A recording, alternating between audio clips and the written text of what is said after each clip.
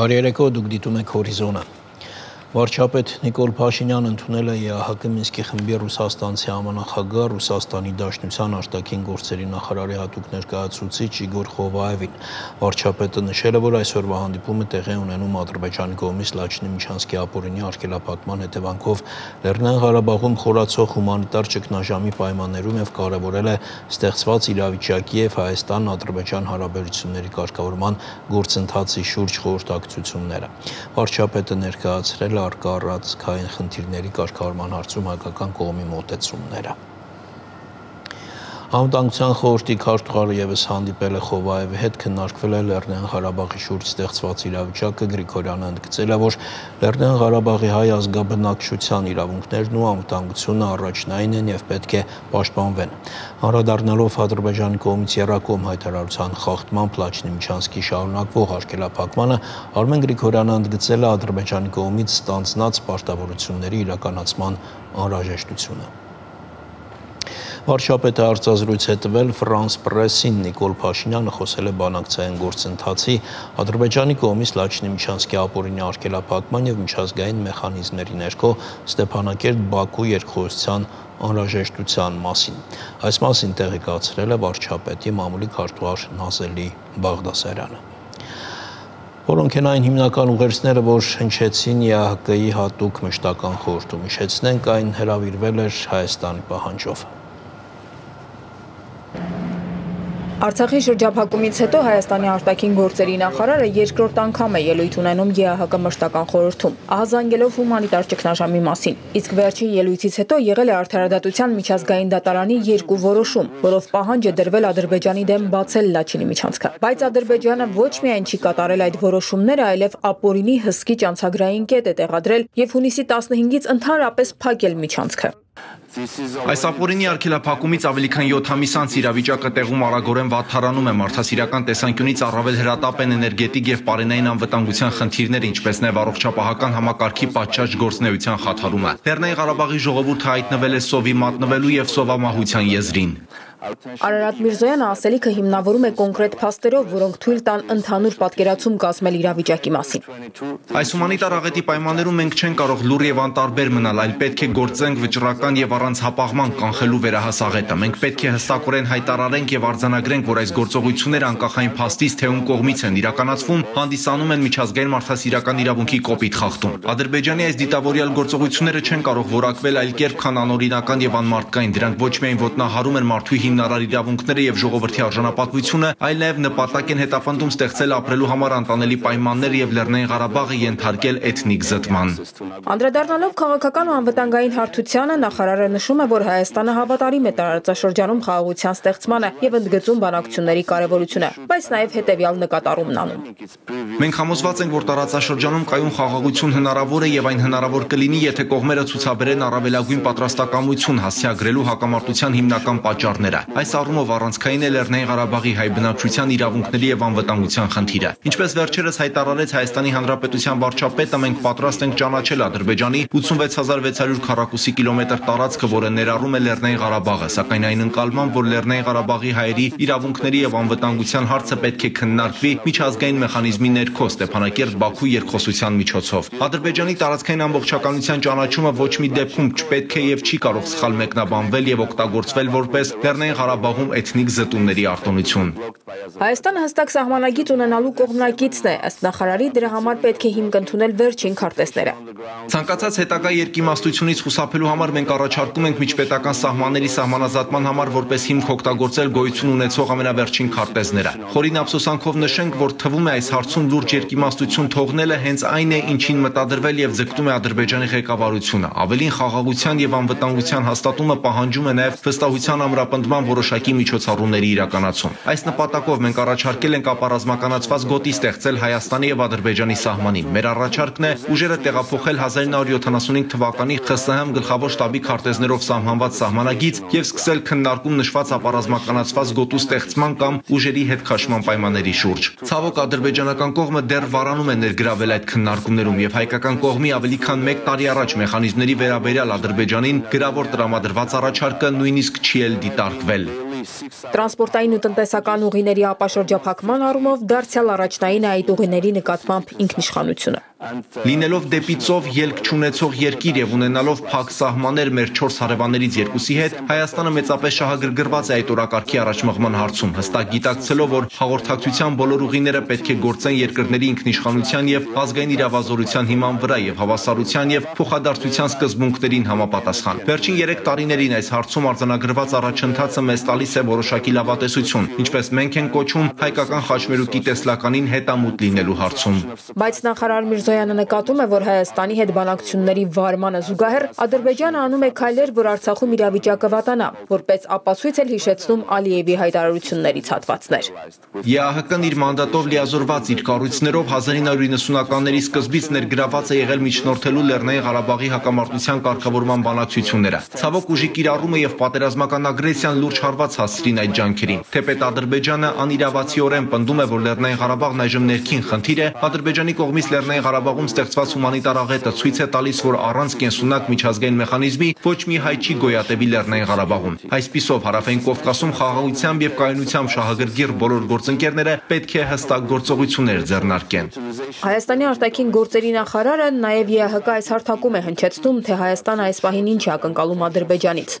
Վերականգնել Լաչինի միջանցքով մարդկանց տրանսպորտային միջոցների եւ բեռների ազատ տեղաշարժն ու անվտանգությունը համաձայն նախկինում ձեռք բերված պայմանավորվածությունների։ Իրականացնել արդարադատության միջազգային դատարանի 2023 թվականի փետրվարի 23-ին ընդունած եւ հուլիսի 6-ին վերահաստատած որոշումը։ Ապահովել մարդասիրական հասանելիություն դեպի Լեռնային Ղարաբաղ եւ համագործակցել համապատասխան միջազգային կազմակերպությունների, մասնավորապես ՄԱԿ-ի կառույցների հետ։ Լուծել Լեռնային Ղարաբաղի հակամարտության հետ կապված կամ դրանից բխող բոլոր չլուծված հարցերը բացառապես խաղաղ միջոցներով։ Իսկ եզրափակիչ խոսքում դարձյալ ընդգծում է, որ Արցախում իրավիճակը աղետալի է եւ շտապ միջոցներ են պետք։ Միջնադարյան գործելավոճը պետք է դադարեցվի, այսպես չի կարող շարունակվել, եթե մենք լուրջ ենք վերաբերվում արժեքներին եւ սկզբունքներին։ Միջազգային հանրությունն ընդհանուր առմամբ եւ ԵԱՀԿ-ն մասնավորապես չեն կարող լռել, քանզի վտանգված է 120 000 մարդու կյանք։ Լռությունը, անտարբերությունն ու անգործությունն այլևս տարբերակ չեն։ Ըստ այդմ նման իրավիճակը կարգավորելու համար պետք է գործի դրվեն միջազգային բոլոր մեխանիզմները։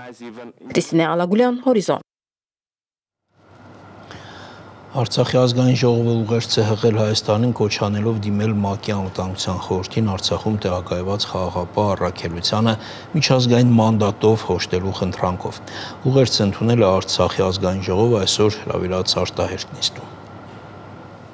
Արցախի ազգային ժողովի արտահերտ նիստում նա խոսեց խորհրդարանի նախագահ Արթուր Թովմասյանը, ուղերձով դիմելով ՄԱԿ-ի անդամ երկրներին։ Նրա խոսքով միայն քաղաքական լուծումները կարող են խաղաղություն բերել տարածաշրջան։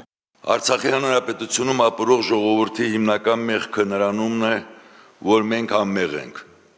Ադրբեջանը բազմազգ երկիր է, հազարամյակներ շարունակ մեկ ապրել ենք կողք կողքի։ Այսօր էլ պատրաստ ենք մեր հարևանների հետ ապրել հավասարը հավասարի սկզբունքով։ Այդ դեպքում պատրաստ ենք տանկը փոխարինել տրակտորով, իգնացիկը բահով։ Բայց հունիսի 15-ից մինչ այս պահը Արցախցին նրա խոսքով ապրում է համակենտրոնացման ճամբարում, իսկ սա մարդու համար չէ։ Ազգային ժողովի նախագահը հիշատակեց ֆաշիստական Գերմանիայի օրինակը, որի հանցագործությունները դատապարտեց ողջամիտ աշխարհը։ Այսօր Արցախի ժողովուրդը կանգնած է հումանիտար աղետի ու գոյութենաբանական խնդրի առջև վտանգված է մեր ֆիզիկական գոյությունը։ Կյանքի ամեն մի օրը կարող է դառնալ վերջինը։ Հայը այս տեսակը խաղաղասեր աշխատասեր ժողովուրդ է, որ միշտ իր կյանքը կառուցել է քրտնաջան աշխատանքով, հարևանների հետ բարի դրացիական հարաբերությունների մղումով։ Միայն քաղաքական լուծումները կարող են խաղաղություն բերել տարածաշրջան։ Անհապաղ միջոցներ ձեռնարկեք։ Մենք հավատում ենք ձեզ։ Այնուհետև падգամավոր Մարսել Պետրոսյանը ներկայացրեց Արցախի ազգային ժողովի ուղերձը, որտեղ ասվում էր, որ շարունակվում է անտեսել Արցախի հանրապետության սուբյեկտայնությունը եւ Արցախի ժողովրդի կամարտահայտությունը։ Երակողմ հայտարարությամբ Ռուսաստանի Դաշնությունը ըստ էության իրացրել է ՄԱԿ-ի կանոնադրության 6-րդ գլխում սահմանված վեճերի խաղաղ կարգավորման դրույթները, ինչը ձախողվել է Ադրբեջանի կողմից դրսևորվող շարունակական եւ լայնածավալ ագրեսիայի հետևանքով հակամարտության ուղղակի եւ անուղղակի կողմերի ներգրավմամբ ստեղծելով տարածաշրջանային ճգնաժամ։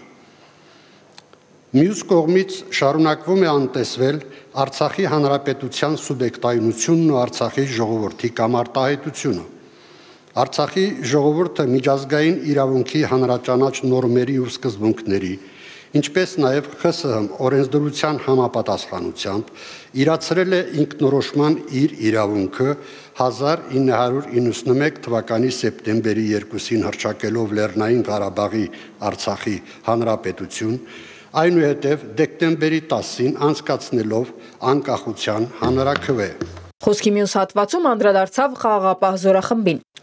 Արցախում տեղակայված ռուսական խաղաղապահ զորախումբը օժտված չէ միջազգային մանդատով։ Հանգամանք որը կանաչ լույս է վառում Ադրբեջանի կողմից երակողմ հայտարարության եւ միջազգային իրավունքի նորմերի ու սկզբունքների խախտումների, տարածաշրջանի անվտանգության եւ կայունության շարունակական վտանգման համար։ Այնուհետ այդ ամենը վկայող փաստական ապացույցներ ներկայացրեց, ապա հիմք ընդունելով այդ ամենը հրապարակեց կոչը։ Կոչն ուղված էր նախ Հայաստանի Հանրապետությանը։ Անհապաղ միջոցներ ձեռնարկել Արցախի Հանրապետությունում տեղակայված խաղաղապահ առաքելությունը կներեք առաքելությանը միջազգային մանդատով օժտելու համար սահմանված ընթացակարգով դիմելով ՄԱԿ-ի անվտանգության խորհրդին գլխավոր ասամբլեային առաջարկելով պատշաճ քայլեր կատարել տարածաշրջանում խաղաղության եւ անվտանգության պահպանման ուղղությամբ։ Արցախի խորհրդարանը կոչով դիմեց նաև ՄԱԿ-ին։ Հավատարիմ լինելով ՄԱԿ-ի կանոնադրության առաջին գլխում սահմանված նպատակներին ու սկզբունքներին եւ առաջնորդվելով ՄԱԿ-ի կանոնադրության 7-րդ գլխում սահմանված կարգով ընդունել իմպերատիվ բնույթի որոշում բանաձև ձեռնարկելով եւ սահմանելով Արցախում խաղաղություն պարտադրելու գործուն միջոցներ Արցախի հանրապետությունը հանձնառու է փրկելու իր ժողովրդին պատերազմի արհավիրքից, վերահաստատելու հավատը մարդու հիմնարար իրավունքների եւ ազատությունների, ինչպես նաև մեծ ու փոքր ազգերի հավասար իրավունքների նկատմամբ, ուստի այդ կառույցներից ակնկալում է ստեղծել այնպիսի պայմաններ, որոնք կապահովեն միջազգային իրավունքի նորմերից բխող պարտավորությունների հանդեպ հարգանքը ազատության պայմաններում խթանել Արցախի ժողովրդի արժանապատիվ կյանքի ապահովումը։ Ուղերձին հաջորդեց падգամավոր Կարեն Հովանիսյանի հարցը։ Պարոն Պետրոսյան, Ռուսաստանը այսօր արևմուտքի հետ լուրջ հակամարտության մեջ է ուկրաինական ճակատում եւ ոչ միայն խնդրում եմ մի հատ քննարկենք երբ մենք դիմում ենք ՄԱԿ-ի անվտանգության խորհրդին ակնկալիք ունենք, որ Հայաստանը կարող է հասնել նրան, որ Ռուսաստանի խաղապահ զորախմբին տրվի ՄԱԿ-ի մանդատ։ Կարող է ՄԱԿ-ը հարմար գտնի այլ զորախմբերի տալ այդ մանդատը, օժտել այդ մանդատը եւ ուղարկել։ ՄԱԿ-ի մանդատը տրվում է անվտանգության խորհրդի եւ գլխավոր ասամբլեայի համատեղ համաձայնությամբ որոշման բանաձևով եւ այլն։ Ինչ վերաբերում է Ռուսաստանին, Ռուսաստանի խաղապահ ուժերին միջազգային մանդատ տրամադրելու հարցին բոլոր դեպքերում դա մենք չենք վճռում, մենք ընդամենը ներկայացնում ենք առաջարկություն,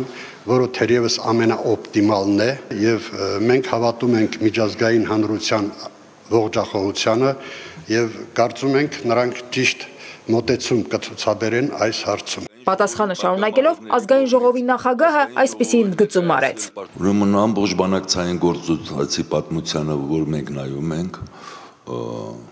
չկար մի փաստաթուղթ, որի վերաբերյալ Ռուսաստանի Դաշնությունը, Ամերիկայի Միացյալ Նահանգները եւ Ֆրանսիան ռազմավարական հարցերում միևնույն տեսակետը չէին արտահայտում։ Եվ Արցախյան հակամարտությունը դա միակ հակամարտությունն էր, որ Ռուսաստանի Դաշնությունը նշեցի Միացյալ Նահանգները եւ Ֆրանսիան համարյա թե միևնույն տեսակետը ունեին խնդրի վերջնական լուծման իմաստով։ Նիստի վերջում Արցախի ազգային ժողովը բացառապես կողմ ձայներով ընդունեց ուղերձը։ Շանթ հեռուստաընկերություն Հորիզոն։ Արցախի տեղեկատվական շտաբը հրապարակել է նոր վիճակագրական տվյալներ։ Ըստ այդմ Արցախի բուժ հաստատություններում պլանային վիրահատությունների դադարեցման պատճառով 1670 քաղաքացի զրկվել է առողջական խնդիրների լուծման հնարավորությունից։ Ստեփանակերտ Գորիս Մայրուղով վերջին 3 օրում Արցախից ելքև մուտքի ոչ մի դեպք չի գրանցվել։ Շրջափակման 222 օրվա ընթացքում գործնեությունը կասեցրել է 1450 տնտեսվարող սուբյեկտ, իսկ 2827 տնտեսվարող գործում է մասնակիորեն արտադրական հզորությունների չնչին մասով կամ պետական աջակցությամբ։ Փաստացի աշխատանքը եւ եկամտի աղբյուրը կորցրել է նախնական հաշվարկներով շուրջ 14600 մարդ, որը մասնավոր հատվածում աշխատողների 80%-ից ավելին է։ Ցուցանիշը հատկապես վերջին շրջանում արագորեն աճում է։ Արցախի տնտեսությանը հասցվել է մոտ 422 միլիոն դոլարի վնաս։ Առայժմ այսքանը մեր հաջորդ հանդիպումը ժամը 20-ին է։